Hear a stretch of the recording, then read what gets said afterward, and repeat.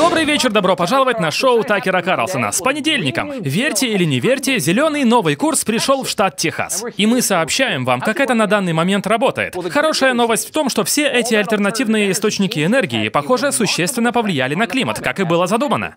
Прошлой ночью в некоторых частях Техаса температура достигла значений, характерных для Аляски. Точнее, она была такой же, как на Аляске. Так что в Хьюстоне насчет глобального потепления можно уже не переживать. Эту проблему мы решили. Плохая новость в том, что там нет электричества. Ветряки замерзли, и электросеть перестала работать. Миллионы техассов сегодня утром проснулись замерзающими. Не было отопления, не работали светофоры и мобильная связь. Школы были закрыты, автомобили попадали в аварии. Больницы отменяли запланированные операции. В Форт Уэрте людям приходилось кипятить воду, потому что без электричества ее было не очистить. Совет по надежности электроэнергии Техаса, какое ироничное название, видимо, не знает, что со всем этим делать. Там просто сказали людям, чтобы они перестали расходовать так много много энергии на обогрев. Итак, в Хьюстоне сотни техасцев пошли в центр оказания помощи как беженцы, чтобы не замерзнуть насмерть. Но почти наверняка некоторые в Техасе сегодня умерли от переохлаждения.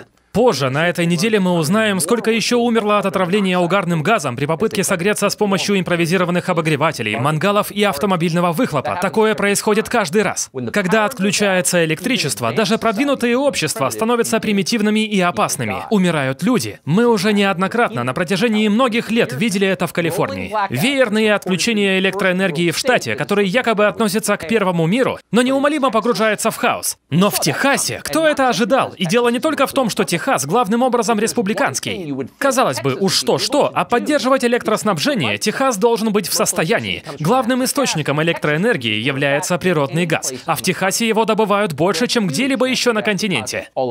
Техас, как известно, штат нефти и газа. Остаться без энергоснабжения в Техасе все равно, что умереть от голода в продуктовом магазине. Такое может получиться только нарочно. Так и было сделано в Техасе. Вместо того, чтобы радоваться богатым природным ресурсам штата и извлекать из них пользу, политики пошли по модному пути и безрассудно положились на так называемые альтернативные источники энергии, на ветряки. 15 лет назад в Техасе практически не было ветроэнергостанций. В прошлом году приблизительно четверть всего производимого в штате электричества было от ветра. Местные политики были довольны, они хвастались этим, как будто есть что-то добродетельное в уродовании ландшафта и приведении электросети в упадок. Только на прошлой неделе губернатор Грег Эббот с гордостью принял так называемую награду за лидерство в области ветроэнергетики. Ему ее благодарно вручила компания, делающая деньги на зеленой энергии. И так все работало прекрасно до того дня, как на улице стало холодно. Ветряки пришли в негодность, как и положено глупым модным аксессуарам. И в Техасе погибли люди. Гораздо больше людей, чем погибло в Капитолии 6 января, просто для справки. Все это мы вам рассказываем не для того, чтобы обругать Техас. Это на самом деле замечательный штат. А для того, чтобы дать вам представление о том, что вот-вот произойдет с вами, с каждым штатом. И это не наши домыслы. Вот новый президент объясняет свой план. По моему мнению, мы и так уже слишком долго откладывали принятие мер по поводу этого климатического кризиса. Вот почему я сегодня подписываю указ об усиленной реализации нашего амбициозного плана по борьбе с экзистенциальной угрозой изменения климата. Это экзистенциальная угроза. Просто зачитывает текст. Климатический кризис, экзистенциальная угроза, амбициозный план. Эти фразы вы слышите часто. Заметьте, все они подозрительно неопределенные. Что же они означают для вас? Ну, для начала, повышение цен на энергию. Бензин уже подорожал, если вы не заметили.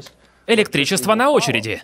От повышения цен страдают самые слабые, с инфляцией так всегда. Но это еще не самое плохое. Зеленая энергетика неизбежно означает аварийные отключения. Когда-нибудь с развитием технологий это может измениться, но на данный момент, при нынешнем технологическом уровне, дело обстоит именно так. Зеленая энергетика означает менее надежную электросеть. Точка. Это означает перебои, вроде тех, что мы видим сейчас в Техасе.